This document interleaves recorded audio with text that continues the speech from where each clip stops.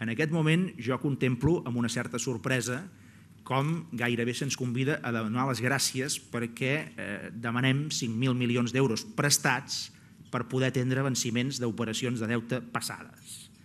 I resulta que en els darrers 20-25 anys des de Catalunya s'han aportat 300.000 milions d'euros a l'Estat que no han tornat que és un esforç de solidaritat immens, molt més important, amb 7 milions i mig d'habitants, que tot el que ha fet la Unió Europea durant els darrers 20 anys respecte a l'estat espanyol, que ha estat un esforç de solidaritat també molt gran.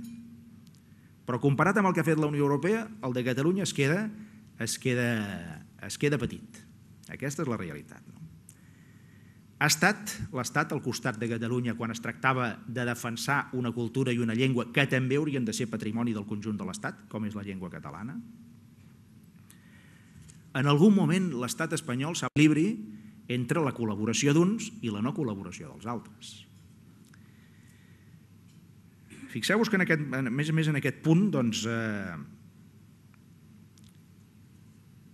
probablement el que s'està produint, i aquest és un de les, dels impulsos del procés, no? el que s'està produint és que, d'una manera molt clara, les classes mitjanes catalanes estan fent aquest canvi de registre mental, però a més a més s'està produint un altre fenomen que també s'haurà de comprovar, però que crec que pot ser molt important per l'evolució d'aquest procés, que és una adhesió massiva de la gent jove d'aquest país en aquest canvi de mentalitat.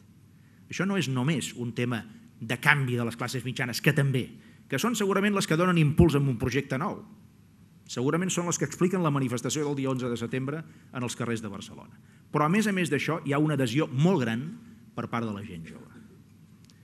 I un projecte que està alimentat per les classes mitjanes i amb una rereguarda, per dir-ho així, que és tota la gent jove del país, o tota no, però vaja, una majoria segurament molt gran de la gent jove del país, que tot això s'ho creu i ho veu com un procés natural, tot això li dona una gran força a tot aquest projecte. Li dona una enorme força de cara al futur.